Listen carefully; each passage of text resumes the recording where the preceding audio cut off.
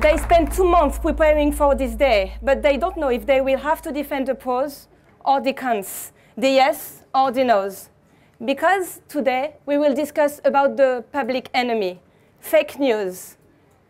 With this question, will fake news be our downfall?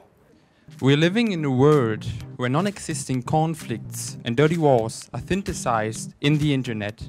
Never before have we had to be facing such a massive amount of information. In a large part because of fake news.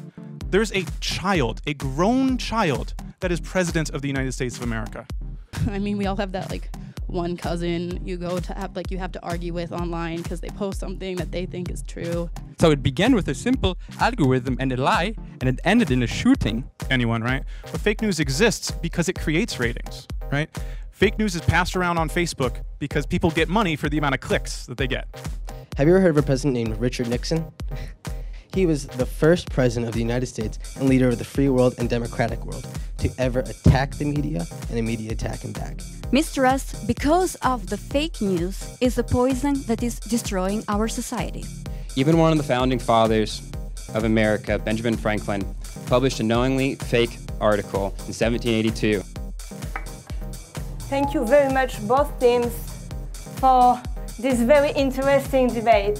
We will now let the judges make their decision. So the winner team is definitely the University of Luxembourg.